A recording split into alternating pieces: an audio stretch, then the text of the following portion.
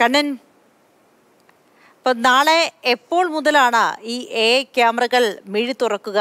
ഇപ്പോൾ ഒരുപാട് നിയമലംഘനങ്ങൾ നമ്മൾ തന്നെ കാണിച്ചു കൊടുത്തു. ഇനി അങ്ങനെയുള്ള നിയമലംഘനങ്ങളൊന്നും റോഡിൽ പാടില്ല എന്നുള്ള അറിയിപ്പും കൊടുത്തു.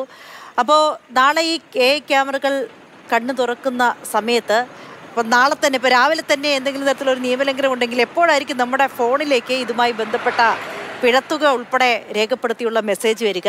അപ്പം ചെറിയ നിയമലംഘനങ്ങൾ മുതൽ വലിയ നിയമലംഘനങ്ങൾ വരെ ഉണ്ടല്ലോ അപ്പം ഇതിന്റെയൊക്കെ ഒരു പിഴത്തുകയുടെ തോതൊക്കെ സംബന്ധിച്ചൊരു തീരുമാനമായിട്ടുണ്ടോ? അതിപ്പോൾ എങ്ങനെയാണ് അത് കണക്ക് കൂട്ടുക? അപ്പോൾ ആളുകളെ സംബന്ധിച്ചിടത്തോളം അതായിരിക്കും അറിയേണ്ടി വരിക.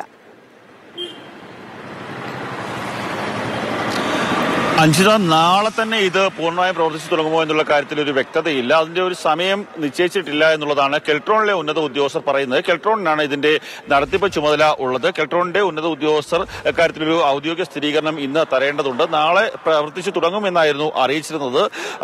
ഇതിൽ ഏറ്റവും പ്രധാനപ്പെട്ട കാര്യം നാല് ക്യാമറകളാണ് എല്ലാ തരത്തിലുള്ള നിയമലംഘനങ്ങളും പിടികൂടാൻ വേണ്ടി സ്ഥാപിച്ചിട്ടുള്ളത്. അത് ഒരെണ്ണം തിരുവനന്തപുരം ബൈപ്പാസിലാണ് രണ്ടാമത്തേത് കൊല്ലം ബൈപ്പാസിലാണ്.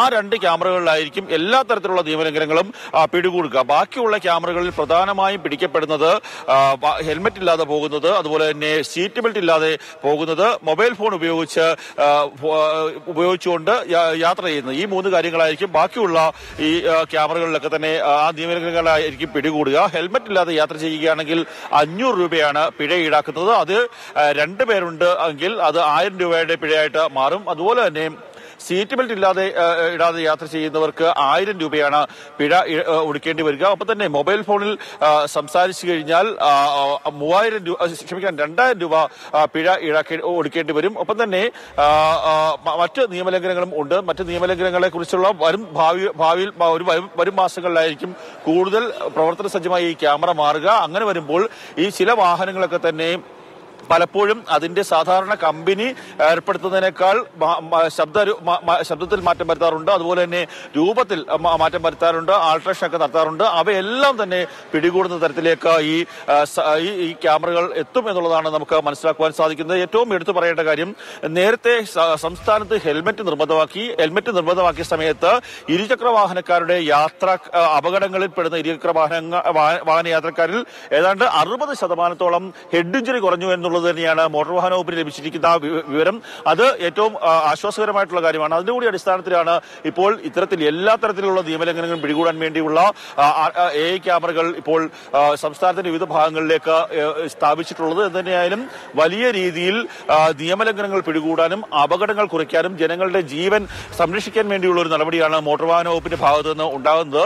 ഇപ്പോൾ മറ്റൊരു പ്രധാനപ്പെട്ട ഒരു കാര്യം കൺട്രോൾ റൂമിൽ ഇനിയും മോട്ടോർ വാഹന വകുപ്പ് ഉദ്യോഗസ്ഥരെ ആ, ഈ അവരെ നിയോഗിച്ചിട്ടില്ല. കാരണം ഇത്തരത്തിലുള്ള നിയമലംഘനങ്ങൾക്ക് പിഴ ഈടാക്കാനുള്ള അല്ലെങ്കിൽ അവരെ കുറ്റക്കാരാണ് എന്ന് കണ്ടെത്താനുള്ള ചുമതല എന്ന് പറയുന്നത് നിയമം അനുശാസിക്കുന്നത് ഈ ഇത്തരത്തിലുള്ള മോട്ടോർ വാഹന വകുപ്പ് ഉദ്യോഗസ്ഥർക്കോ അല്ലെങ്കിൽ പോലീസ് ഉദ്യോഗസ്ഥർക്കോ ആണ്. ഇപ്പോൾ നിലവിൽ കെൽട്രോ- കെൽട്രോണിലെ ചില താൽക്കാലിക ജീവനക്കാരാണ് കൺട്രോൾ റൂമിലുള്ളത്. നമുക്ക് മനസ്സിലാക്കുവാൻ സാധിക്കുന്നതനുസരിച്ച് ഒരു മോട്ടോർ വാഹന വകുപ്പ് ഉദ്യോഗസ്ഥനെ ആ കൺട്രോൾ റൂമിൽ നിയോഗിക്കും. അദ്ദേഹത്തിന്റെ കൂടി അനുമതിയോട് കൂടിയായിരിക്കും മറ്റുള്ള ജോയിന്റ് ആർ ടി ഒമാരുടെ ഓഫീസുകളിലേക്ക് ആർ ടി ഒ ഓഫീസുകളിലേക്കൊക്കെ തന്നെ ഈ ഈ ലെറ്ററുകളും മറ്റ് സംവിധാനങ്ങളും അതായത് പിഴ അടക്കമുള്ള കാര്യങ്ങളെല്ലാം തന്നെ പോവുക എന്ന് തന്നെയായാലും വരും ദിവസങ്ങളിൽ തന്നെ നമ്മുടെ മൊബൈലിലേക്ക് ഇത്തരത്തിലുള്ള നിയമലംഘനം നടത്തിക്കഴിഞ്ഞാൽ ആ ആ, പിഴത്തുക എത്രയാണ് എന്താണ് നിയമലംഘനം എന്നുള്ളത് സംബന്ധിച്ച mobile S M S alert വരും. അത് കോടതിയിൽ പൈസ പിഴയടയ്ക്കാനുള്ള സംവിധാനമുണ്ട്. അതുപോലെ തന്നെ മോട്ടോർ വാഹന വകുപ്പിന്റെ ഓഫീസുകൾ പിഴയടയ്ക്കാനുള്ള സംവിധാനമൊക്കെ തന്നെ ഏർപ്പെടുത്തിയിട്ടുണ്ട്.